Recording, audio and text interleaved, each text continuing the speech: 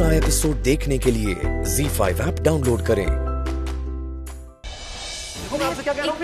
रुको रुको रुको। तुम इस आदमी से शादी क्यों कर रही हो? तुम्हारी मर्ज़ी के खिलाफ हो रहा है ये सब। ऐसा कुछ नहीं है मैं अपनी मर्ज़ी से ही शादी कर रही हूँ। तुम्हारी चॉइस ये। है। हाँ मत करो शादी। से hi can I speak to Purvi's mother?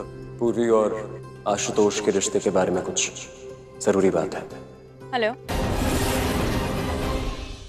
Z5 app download करें और देखें सारे एपिसोड्स बिल्कुल फ्री